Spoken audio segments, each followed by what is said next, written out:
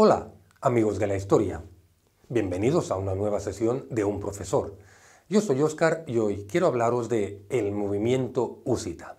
¿Qué fue el movimiento husita?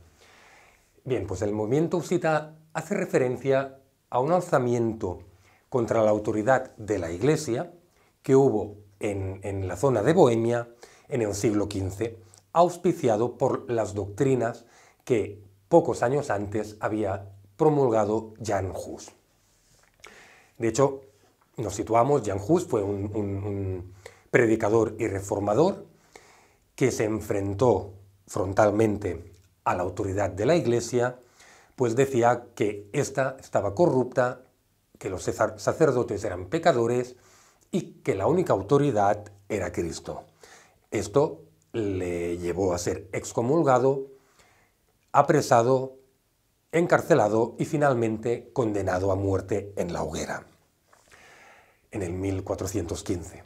Así pues, en el 1419, un predicador afín a sus ideas eh, decía que Jan Hus había estado condenado con perfidia y llamó a todos sus seguidores a coger las armas para luchar contra sus enemigos, es decir, la Iglesia y el Sacro Imperio.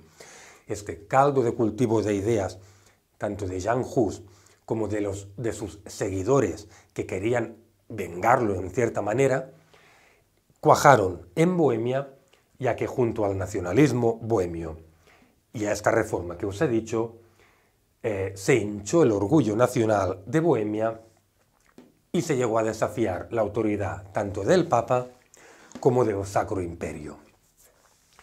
De hecho, eh, como os he dicho, en 1419 varios de los seguidores de Jan Hus, es decir, pertenecientes al movimiento husita, van al ayuntamiento de Praga para desalojar a los católicos que ya había y es lo que se conoce como la famosa defenestración de Praga, pues los seguidores husitas lanzan por la ventana a los eh, designados por el rey Segismundo para gobernar dicha ciudad que los husitas creían que debía ser suya y, ser suya y que ellos debían gobernarla. Después, esta defenestración de Praga la que da el punto de partida a la revuelta husita. De hecho, esta revuelta eh, no es homogénea, eh, eh, apareció en diversas partes de Bohemia y no tenía un líder claro. No fue hasta que Segismundo, que como os decía antes era rey del Sacro Imperio, sitió Praga esto hizo que todos los diversos puntos y jefecillos husitas vieran la necesidad de unirse para hacer frente a esta gran amenaza que eran las tropas, las huestes de Segismundo. Tanto es así que, bajo la auspicia de su gran jefe, Zitka, lograron derrotar al ejército de Segismundo y liberar el cerco de Praga. Em, de hecho, hay una curiosidad eh, que los husitas fueron los que inventaron el círculo de carromatos para enfrentarse a la caballería enemiga. Y gracias a estos círculos de carromatos pudieron vencer hasta cinco cruzadas distintas que tanto el Papa como Segismundo habían mandado hacia Bohemia para acabar con la revuelta husita. Así pues, viendo que era muy difícil vencerlos, eh, tanto el Papa como, el Sacro Imperio vieron la necesidad de, entablar, de comenzar a entablar negociaciones con los husitas para firmar una paz. Y allí fue donde eh, tanto el Papa como el Sacro Imperio vieron el resquicio por donde colarse, pues los husitas no, no estaban muy unidos. De hecho, había dos grandes bandos, los husitas moderados y los husitas radicales.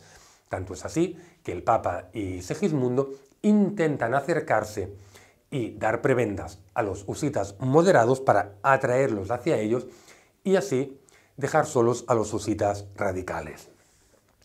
Eh, al final lo logran y en 1434 de esta unión entre los husitas moderados y los católicos, en la batalla de Lipani, son finalmente derrotados los husitas radicales y así se pone fin y se termina la revuelta husita. Así pues, hemos visto de dónde viene, qué pretendieron y qué consiguieron y cómo terminó tal revuelta usita. Y a modo de resumen, eh, me gustaría comentaros que el, el movimiento usita fue la rebelión que más lejos llegó y la que eh, más se sostuvo en el tiempo durante el medievo. Tanto es así que conmovió el viejo orden eh, de, Occidente y, el eco de su lucha llegó hasta la reforma eh, protestante de Lutero. tanto es así que el, el, más que un movimiento religioso, fue una corriente mm, reformista tanto religiosa como social, como económica y cultural. Así pues, espero que os haya interesado el tema y como siempre emplazaros a que visitéis nuestra página web unprofesor.com donde encontraréis algunos ejercicios que os hemos preparado de, este tema, así como muchos otros temas que bien os podrían interesar. Sin nada más que añadir, me despido de vosotros y os emplazo a una nueva sesión de un profesor. Muchas gracias.